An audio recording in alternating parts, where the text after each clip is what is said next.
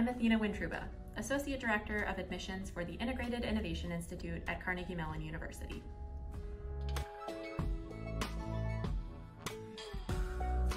It's not uncommon for a prospective student to ask, what exactly is the most important part of the application process?